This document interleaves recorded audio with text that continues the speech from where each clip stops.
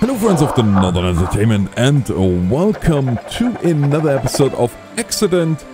Yeah, Accident is a little bit of an interesting game. You might know it, you might not know it. If you don't know it, let me give you a quick rundown. You are part of a insurance company and uh, yeah, as part of a, well, if you will, accident reconstruction team, well, you are pretty much put into this virtual reality where you uh, drive down these roads. At the moment, I'm not doing anything. This is all automatic. Uh, the AI or whatever it is, uh, I guess it's just on rail, so you can't even say AI. But you drive up to the accident. This is when you start doing your your uh, job here turn on the hazard lights and pick up the smartphone. Click on one. Now we, are dialing 112 because we are in sweden calling the emergency services. That will trigger a whole bunch of other events. And uh, yeah so here we are. We're gonna be very very quickly act here Gonna grab the warning triangle. Because, unfortunately, we, uh, we don't have much time. There is possibility of cars on fire and whatnot. So, basically, in the beginning, you do everything you can to get uh, problems under control. And, uh, yeah, we have a fire here. Just as we always learned this.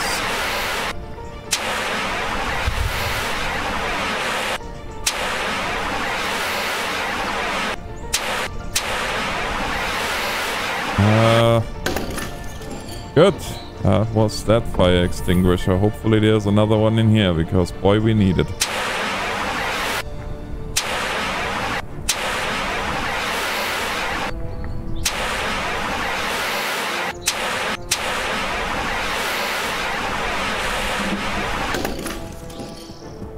Heavens. Okay, warning triangle. Now we're gonna run down here. And the reason that I can do this so quickly and not have to really read anything or have to worry about anything is because I have done this one. This was the prologue of the game initially. Driver's door is jammed. That can't be good. That one is locked. And there is jam 2. I don't know how I managed to do this. Okay, let's see here. Can't do anything here at the moment. I have to take the other one. Uh, so you can see how passenger door is locked as well. And we can't get there. Open here. I will get inside here and turn the ignition off. Perfect. Get outside. And we have one more vehicle and that is this truck here. Where we have an ejected driver, by the way. Not ideal. Okay, that's done. So that's that's the easy part. We have a GPS in our car now.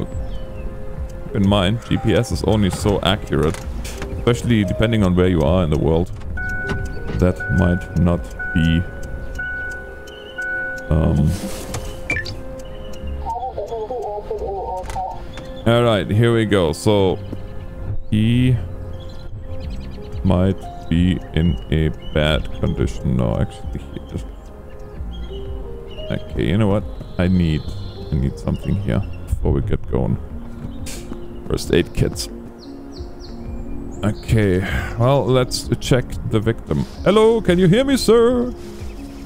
Open the airway. Anything? Yes. Okay, he's good. He has a wound. He has a couple more wounds. If I will have to guess. No, I don't have to guess. I know exactly what's going on.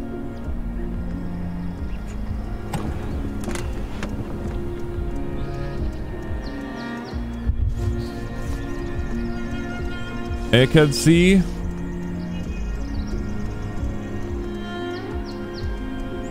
Okay, that is not good. We have one moon there.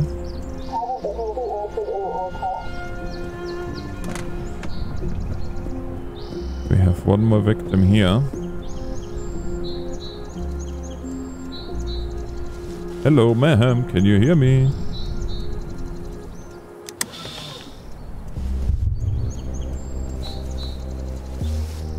I'm afraid she might not be doing well.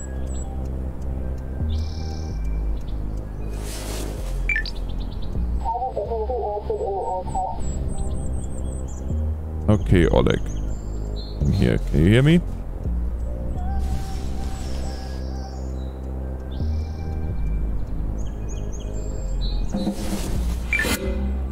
Alright, August. You are the first one to come out.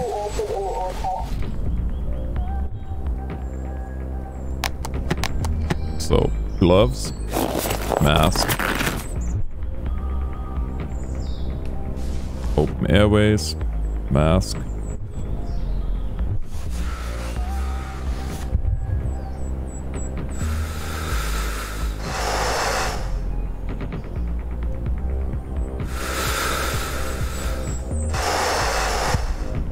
One. Nope, not good enough.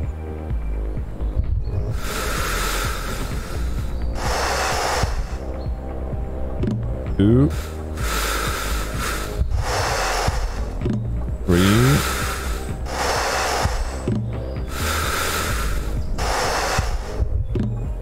And there's number five. Check the breathing.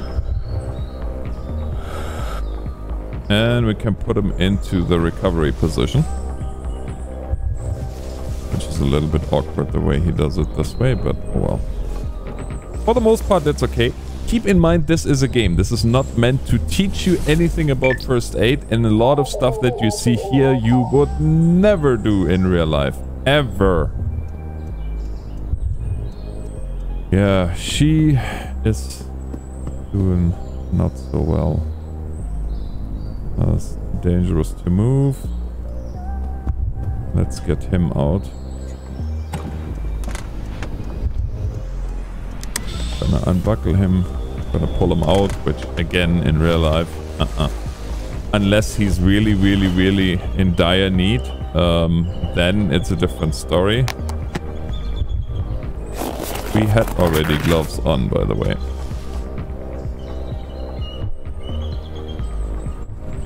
Oh, I didn't know that he needs the... Uh... okay, well.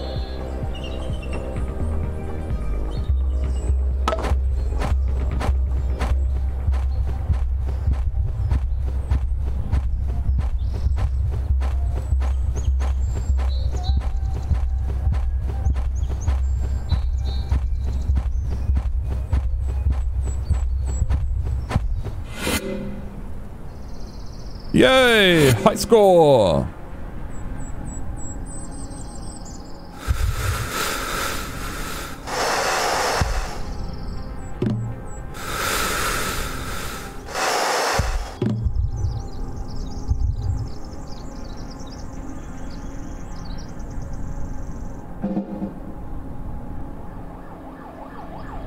And look what's coming down the bend. Yep, that's right.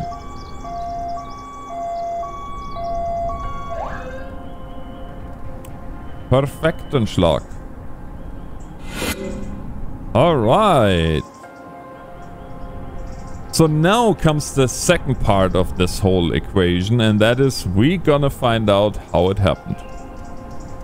We're gonna we're gonna check all the clues.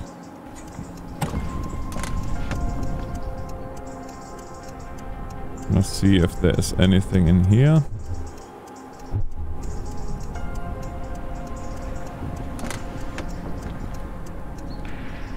And then we're gonna put these clues into order.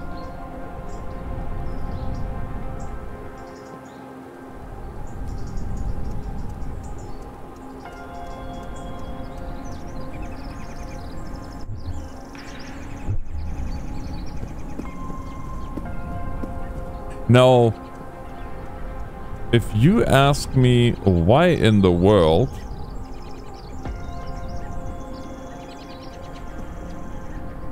Why in the world are we doing this? Oh. Like I said, all this is done. All this is done um, to gather to gather evidence.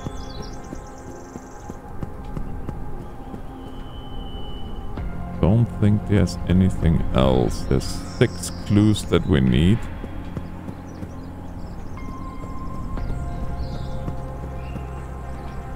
I don't know why it has us going so far out here. Can't remember. I feel like there was something up here somewhere.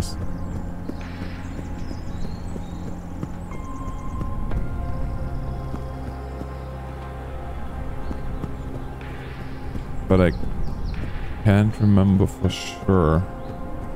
I thought that we maybe find a boar that was hit or whatnot, but unfortunately that was not the case.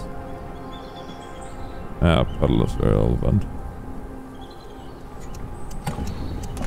Oh, wait a second. This is our car. That really doesn't make much sense. Okay, so... There. Now we have all six clues. Now we have to put the events in the right order, which is fairly easy. War stands in the road. He avoids. Uh, collision with the oncoming truck. The driver is not wearing a seat belt. Subsequently, the driver gets ejected. And lastly, Suzanne does not uh, see the truck in time, collides with the trailer. After careful examination at the hospital, Jacob Harrison was diagnosed with spinal injury. He underwent emergency surgery, after which he had to complete several months of rehabilitation to be able to walk again. Currently, Jacob walks a, works as a security at a local supermarket, monitoring the camera cameras, and will need to take painkillers for the rest of his life. So he survived. Ingolf Holt. Ingolf suffered significant blood loss due to the deep laceration of his arm by a piece of glass. Fortunately, your CPR lived saved his life, and the paramedics stopped the bleeding. The wounds healed quickly, but the glass severed several nerves and Ingolf lost full use of his left hand. The injuries were minor, however, he was able to function. Suzanne Olner, when Suzanne's car hit the back of the trailer, its bumper smashed in the front window and hit her in the head, killing her instantly. There was nothing you or the paramedics could do. She was buried next week later in her hometown. And August Orlander, after the impact, August Orlander went into shock, which resulted in a coma. He also suffered from several minor internal injuries. After five weeks, he regained consciousness up and returned home to live with his father. The accident and death of his mother traumatized him severely, had to go undergo therapy for two years. After that, he returned to school. And there's the end of this scenario. And if you want to see more, let me know in the comments below. I will be back soon with more. Until then, Northern Alex signing off. Thanks for watching and God bless.